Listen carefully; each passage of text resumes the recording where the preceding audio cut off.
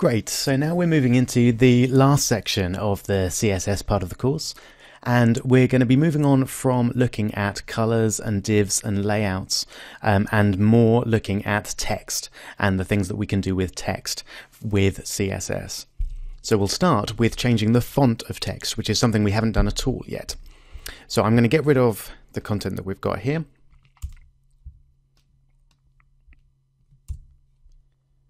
And we're just going to have a very simple paragraph with a good old this is some text. Okay, let's refresh that. Great. There we go. So how do we change the font of that text? It's pretty easy. We use a CSS instruction. We're going to refer to all P elements for the moment because we don't have any classes or IDs.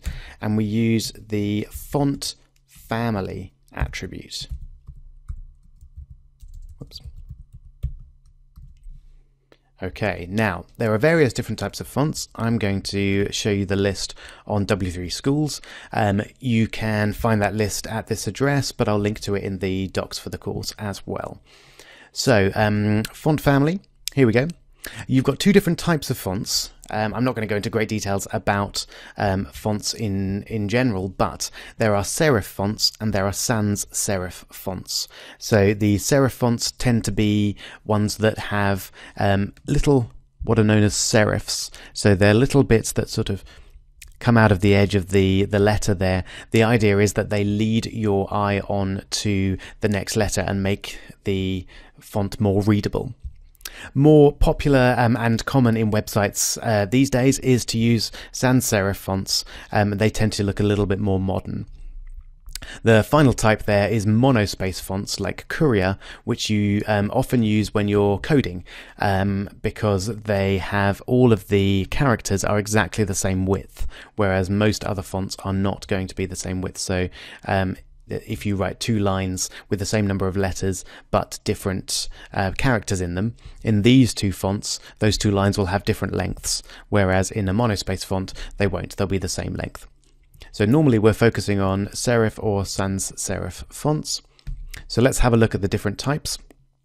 Um, these are what's known as web safe fonts. So if you use these fonts, you're going to be guaranteed that any browser that the user is using is going to have those fonts. Now there are various ways to add extra fonts into um, your website if the ones here are not are not what you want or you want to use something else, but we'll go into that later on in the course. We won't look at that right now. Um, so you've got a nice list there looking at the sans serif ones. We've got Arial um, and Arial Black, etc., etc. You can read those for yourself. Now, you will notice that all of them have um, a font name and then a more general font name and then the type of font there. Now, the reason for that is when when you state your font, um, you have these second and third, and in some case fourth options as a backup. So if in the unlikely event that the browser doesn't have this particular font, then it will look for this font. And if it doesn't have that font, it will look for that font. And if it won't doesn't have that font, it will look for, in this case, just a generic serif font.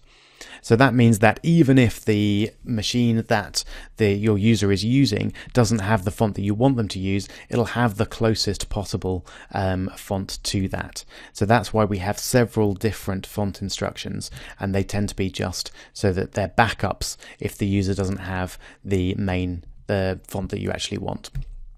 So let's try um, some of these out. You'll notice that the default option that we use is a serif font um, there. So let's try a sans serif one.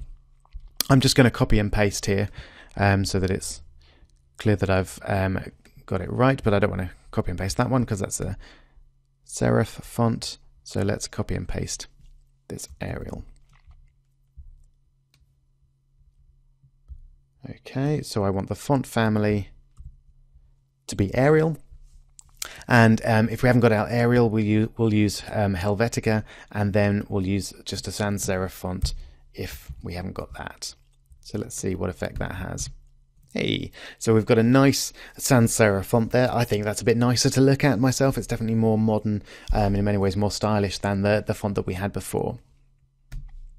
So there's not much more to say really about fonts. Um, I would take a couple of um, couple of minutes to just try out a few of these fonts from the W3 schools. Just type them in um, or copy and paste them and um, see how they look um, with um, with the different fonts.